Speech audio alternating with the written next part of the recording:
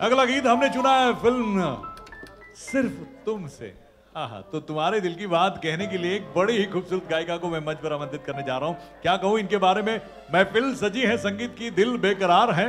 आप सभी आ चुके हैं, बस इन्हीं का इंतज़ार है। तो चलिए जोरदार तालियों के साथ स्वागत करते हैं सुमन जी का।